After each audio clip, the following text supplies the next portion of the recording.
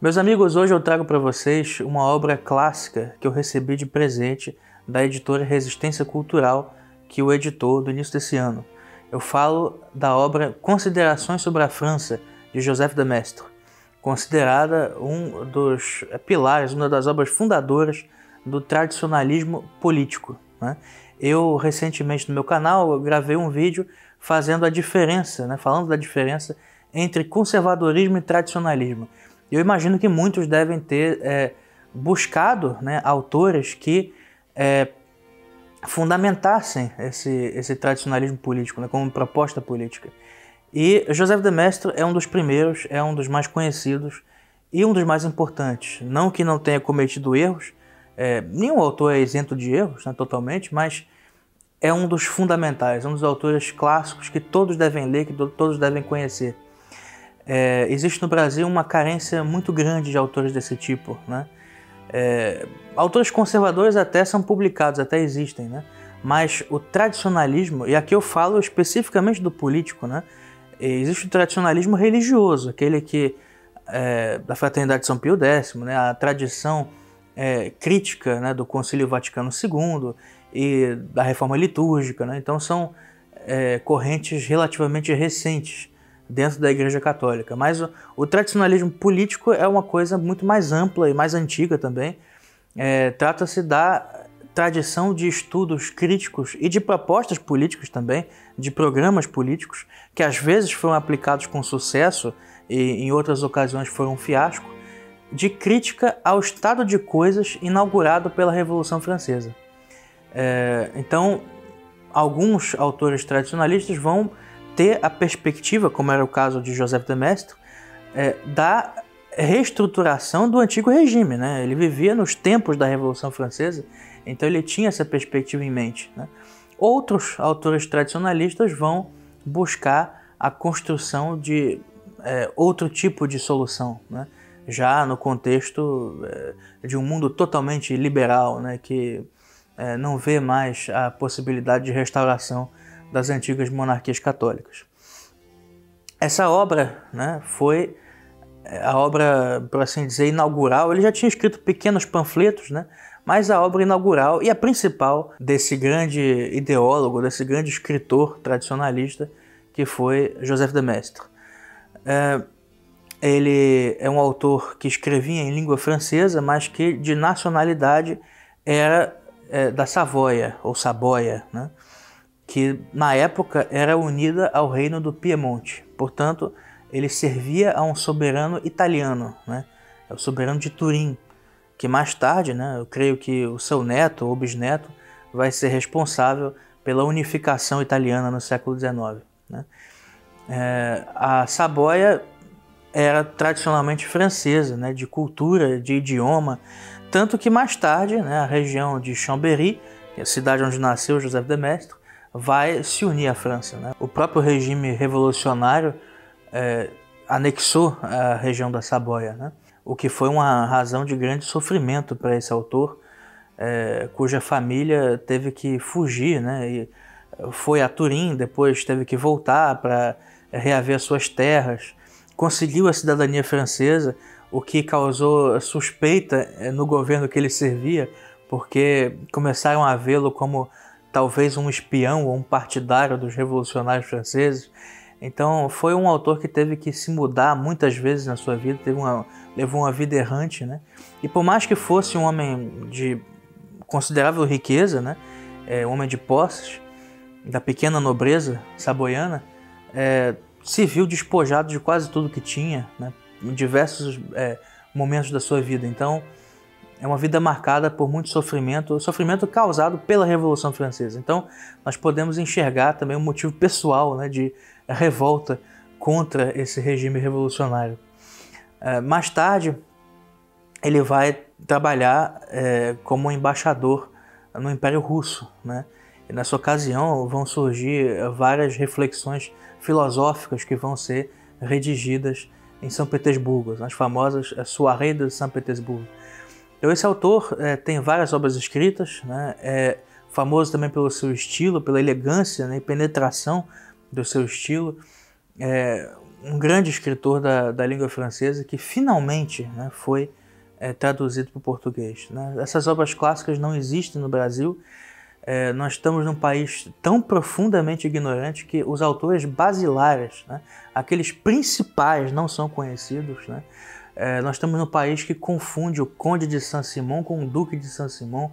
Se você for perguntar aqui no Brasil quem foi Saint-Simon, todos vão falar é, do Conde do século XIX, que é o socialista utópico. Por quê? Porque aqui todo mundo quer falar em socialismo, né? Isso que interessa a cabeça do, do brasileiro em geral, né? Então, dos meios acadêmicos, principalmente, né? Só se fala disso. Se soubessem o tamanho do provincianismo, que é, que é uma coisa dessas, né? É, se soubessem que o Duque de Saint-Simon, que viveu na corte de Luís XIV e no período é, da regência de Luís XV, escreveu memórias de 3 mil páginas, né? que são um dos maiores monumentos né, do, é, é, historiográficos e de memórias também, um dos grandes memorialistas de todos os tempos. Todas as nações do mundo, quando se fala em Saint-Simon, conhecem o Duque de, o Duque de Saint-Simon, né? Louis de Rouvroy de Saint-Simon. Aqui no Brasil é o Conde, por quê? Porque é socialista, entendeu? É uma vergonha esse país, é realmente é muito vergonhoso né? o que, que é o mundo das letras, o mundo da cultura aqui no Brasil. Ninguém conhece nada, nada. Né? Vocês não têm obras traduzidas né, importantes. Então esse trabalho da editora Resistência Cultural realmente é um trabalho civilizador. É, também a obra vem acompanhada de um estudo biográfico né, feito é, por um estudioso né, de José de Mestre, Eu não o conheço pessoalmente, José Miguel é, Nani Soares, mas que é autor de uma tese acadêmica sobre José de Mestre e que aproveitou né, para elaborar esse estudo biográfico. Fez um outro estudo sobre o estilo né, do, do autor e, e, sobre a obra especificamente, considerações sobre a França. Então, é uma edição realmente excelente, né, que foi preparada é, pela Resistência Cultural e faço aqui propaganda mesmo, porque é uma das editoras que está fazendo um trabalho fundamental, né, junto com com outras, né? As edições Santo Tomás, também a editora Contra Errores, né? Que está nascendo agora. É, são várias iniciativas editoriais que estão é, recuperando, né? É, um pouco desse tempo perdido é, do público brasileiro católico, né? Então, tanto obras é, teológicas quanto espirituais, obras filosóficas, né? Mas no âmbito político, é, essa obra de José de Mestre é realmente primordial, né? Não sou um discípulo né, de José de Mestre, acho que esse autor comete alguns erros, é, a sua construção é predominantemente ideológica, né? É, e muitas vezes ele acaba cometendo alguns exageros, né? E outras vezes peca por uma influência iluminista que recebeu, né? principalmente no início da sua obra, nesse prefácio de José Nani Soares, ele cita algumas cartas, alguns panfletos, manifestos que Mestre escreveu na sua juventude e são obras é, de uma iluminista. Né? Então, recebeu a influência maçônica né? durante é, a sua juventude, ele foi maçom, mais tarde abandonou né, as lojas maçônicas, mas manteve algo dessa formação. Né? Ele não foi suficientemente crítico em relação é, tradição, parece uma contradição de termos, mas a tradição revolucionária. Né? É, mas é um autor excelente, né? E um excelente escritor também. Nessa obra, Considerações sobre a França, ele vai fazer um estudo é, análogo ao que foi feito por Santo Agostinho na Cidade de Deus e por Bossuet no Discurso sobre a História Universal. É uma visão dos caminhos da providência divina. Né? E ele enxerga a Revolução Francesa como um castigo de Deus. Né? É, pelo desvio da monarquia francesa em relação à sua missão histórica. Né? A missão histórica que foi dada quando o rei Clovis, né, rei franco, bárbaro, é batizado é, no ano 480 por é, São Remígio. Né? Então você tem ali a, a filha mais velha da igreja, né? a filha primogênita da igreja sendo formada o primeiro braço armado né, que a igreja teve depois que o Império Romano se esfacelou, e nesse sentido é como uma sucessora do Império Romano. Né? Esse projeto é, foi levado a cabo por Carlos Magno, né, que foi inclusive coroado como imperador dos romanos né, pelo Papa Leão III. E, enfim, a monarquia de Carlos Magno, de Luís o Piedoso, é, de São Luís. Então, é essa grande monarquia católica que deveria servir a igreja né, como seu braço armado, que deveria, o poder temporal que deveria se colocar a serviço do poder espiritual, é, infelizmente se desviou. Né? Desde Filipe o Belo, o poder temporal é, vinha tentando é, subjugar o espiritual. Né? E isso vai chegar ao ápice com Luís XIV, quando é, reúne todo o clero francês e Bossuet é, redige uma declaração galicana, né? uma declaração de que é, o rei deve ter poder sobre o clero, sobre as nomeações né? e que deve ter autoridade sobre a igreja dentro do território francês. Então, o galicanismo é, é uma traição à missão histórica da França, né? E a própria depravação da aristocracia né? é, e todos os erros que foram cometidos pela monarquia francesa ao longo dos séculos foram castigados pela providência né? é, com a Revolução. Então ele enxerga né, o, um movimento histórico é, como que de cima, né? o que é incrível para um homem que viveu os acontecimentos da Revolução e que por pouco escapou da guilhotina também, quando esteve em Chambéry, é, teve que fugir. Né?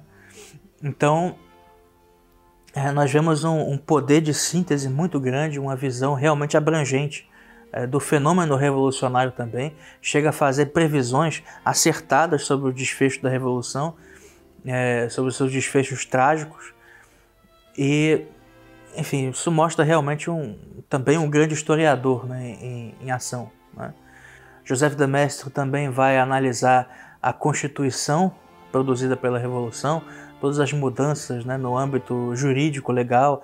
Então vai ser também um crítico, né? É, é, mais, vai tratar mais pormenorizadamente a Revolução é, também em outros escritos seus.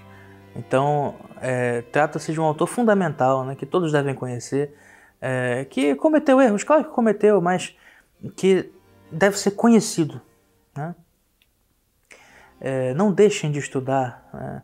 É, mesmo os autores da tradição conservadora, né, é, mais liberal, como o seu contemporâneo, né, é, Edmund Burke, inclusive manteve certo diálogo com ele, né, a própria leitura é, das reflexões sobre a Revolução na França impactou muito Joseph de Maistre e foi um, uma das leituras que o levou a começar também a reunir documentos e a refletir sobre a Revolução e a desejar escrever essa sua obra, que saiu em 1797, portanto, num período mais avançado né, da Revolução, durante o governo do Diretório. Né. Então, está aí feita a recomendação. Né? É, quero que todos né, é, adquiram essa obra, que a leiam, porque é uma daquelas obras clássicas que, é, se nós não conhecemos, nós não sabemos o que é o, o, tradicionalismo político, nós não sabemos o que é essa tradição é, tão importante que começa a nascer no Brasil, né? renascer na verdade existiram é, alguns ensaios anteriores, talvez um pouco esdrúxulos, mas é, existiram tentativas de é, levar esse pensamento à prática no Brasil, inclusive no início do século XX, mas é, aqueles que pretendem né, é, direcionar a onda conservadora, né, a algo mais é, civilizado e algo mais inteligente, né, precisam passar necessariamente pela leitura de José de Mestre. Portanto, é, adquiram essa obra e boa leitura.